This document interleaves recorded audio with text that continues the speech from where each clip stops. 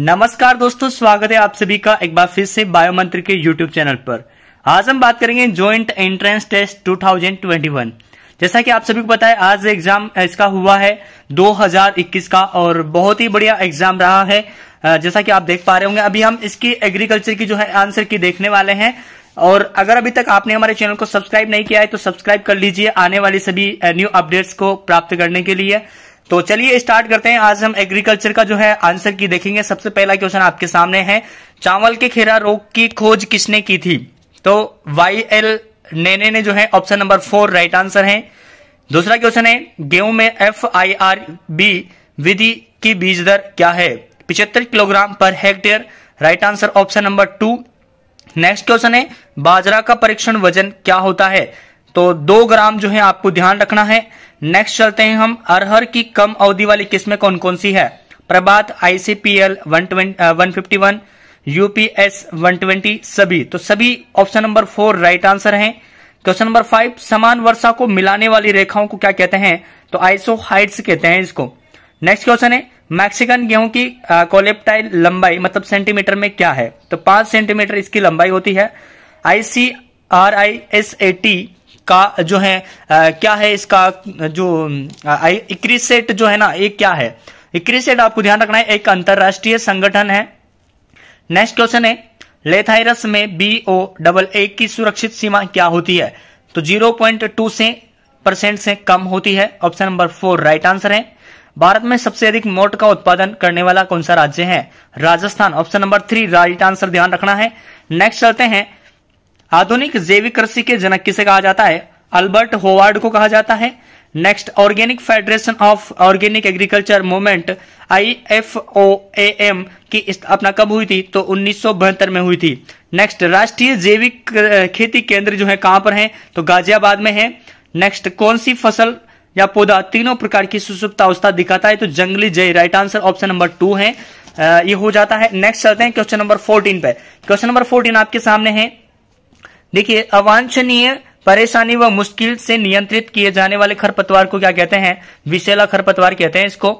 Next है, वर्तमान समय में आइसोप्रोटोरोन की जगह कौन सी खरपतवार नाशी का उपयोग करते हैं? तो मेट सल्फ्यूरोन जो है, इसका उपयोग किया जाता है। Option number two right answer है। क्वेश्चन नंबर नेक्स्ट सजावटी साइट्रस प्रजाति कौन सी है? तो हजारा की है, सजावटी साइट्रस प्रजाति। नेक्स्ट है मैड्रीन का वानस्पतिक नाम है साइट्रस रेटिकुलेटा इसका वैज्ञानिक नाम है, वानस्पतिक नाम है। नेक्स्ट है, निम्न में से कौन से फल की, में एक लिंगाश्रयी पाया जाता है? पपीता के अंदर एक लिंगाश्रयी जो है पाया जाता है फल में। आम की बीज रहित किस्म कौन सी है? तो सिंधु है ऑप्शन नंबर टू नेक्स्ट है, भारत में सर्वाधिक उत्पादन वाली केले की कौन सी किस्म है? ड्वार्फ कैवेंडिस जो है, ये सर्वाधिक उत्पादन वाली भारत की किस्म है केले की।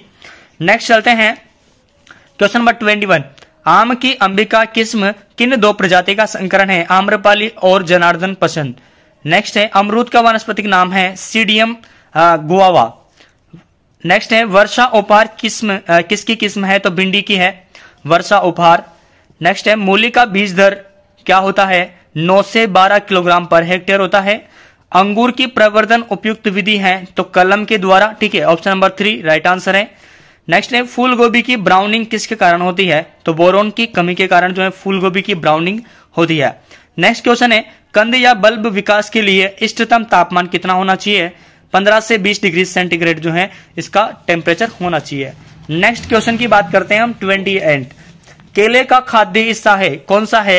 एंडोकार्प राइट आंसर है ऑप्शन नंबर टू नेक्स्ट है, अनार की रोपण दूरी क्या होती है? छह इंटू छह मीटर जो है, इसकी दूरी होती है। नेक्स्ट है ओलियोरेसिन किससे प्राप्त होता है? तो मिर्ची से प्राप्त होता है। Option number four. बिल्कुल राइट आंसर है। ठीक है, ये सारे के सारे मिलाए हुए क्वेश्चन हैं और जो अपन ने पढ़ा था पिछली क्लासेस के अंदर पेपर्स के अंदर, उन्हीं में से काफ़ी सारे क्वेश्चंस मिल रहे हैं। किस जानवर के दूध में वसा की मात्रा सबसे अधिक होती है? तो भेड़ के दूध के अंदर सबसे ज़्यादा फेट पाया जाता है।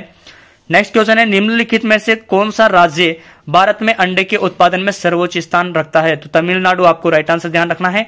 राष्ट्रीय ऊँट अनुसंधान केंद्र स्थित है तो बीकानेर के अंदर स्थित है। निम्नलिखित में से कौन सा बंदरगाह मत्स्य पालन में सर्वोच्च स्थान पर है? तो कोची जो बंदरगाह है, वो मत्स्य पालन में सर्वोच्च स्थान पर है। नेक्स्ट है question number thirty five thirty five question की हम बात करते हैं। धान के पुआल की पाचकता को बाधित करने में निम्नलिखित में से कौन सा सबसे महत्वपूर्ण है? तो सिलिका जो है, ये बाधित करता है धान की पुआल को। रूमेन में अमोनिया और कुल वी एफ़ ए का संकेंद्रण किसके लिए सर्वाधिक होता है? तो रोमेन में अमोनिया और कुल वी एफ़ ए का संकेंद्रण किसके लिए सर्वाधिक होता है? तो भेड़ के लिए सर्वाधिक होता है। गाय और घोड़ों में विटामिन ए की कमी का सबसे प्रारंभिक लक्षण है। तो जीरोथेलमिया जो है, ये प्रारंभिक लक्षण है। नेक्स्ट क्वेश्चन है, सामान्य दूध वसा के रखरखाव के लिए कुल राशन में प्रतिशत एनडीएफ महत्वपूर्ण होता है? 36 परसेंट एनडीएफ महत्वपूर्ण होता है सामान्य दूध वसा के रखरखाव के लिए। यदि अनुपूरक आहार की सीपी सामग्री कितने परसेंट से ऊपर है तो यूरिया पूरक की सिफारिश नहीं की जाती है। 25 परसेंट से यदि ऊपर हो तो यूरिया पूरक की जो है सिफारिश नहीं की जा सकती है। नेक्स्ट लास्ट का क्वेश्चन है एग्रीकल्चर का। N D R I located at अनुसंधान संस्थान जो है, कहाँ पर स्थित है? तो करनाल के अंदर ये संस्थान जो है, स्थित है। तो गाइज़ इसके बाद हम देखेंगे जो बायोलॉजी के सॉल्यूशन है बायोलॉजी की आंसर की है और एग्रीकल जो केमिस्ट्री की आंसर की है। तो इसको देखने के लिए हमारे चैनल को लाइक सब्सक्राइब और शेयर ज़रूर कीजिए। ठीक है? तो मिलते हैं फिर से नेक्स्ट वीडियो में। तब तक के लिए जय हिंद, जय भारत, वंदे मात